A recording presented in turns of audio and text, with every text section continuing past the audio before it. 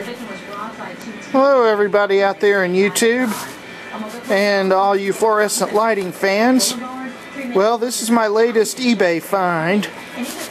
This is a rapid start high power factor ballast for 14, 15, and 20 watt lamps. It's pretty cool.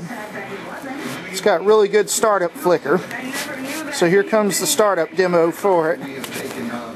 Right now I've got two Philips Alto F15 T8 lamps on it. Pretty cool.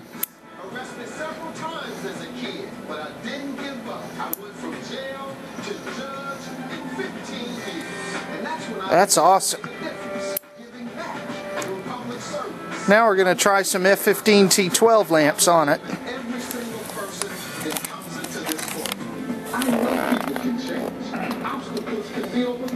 And great success can be achieved. Because in my courtroom, it happens every day.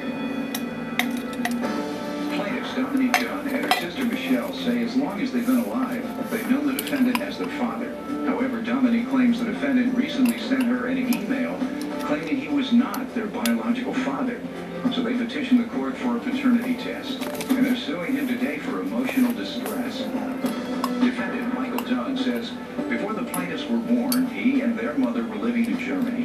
And he claims she was cheating on him. Alright, now we have two No doubt in his mind that the plaintiffs are not GE. F15 T12 lamps. The uh, top lamp here is actually made by Sylvania for GE. Great man. Preside. You may now be seated. All right, start with you. um, for the past 27 years of knowing, believing Isn't that cool? over here is my father.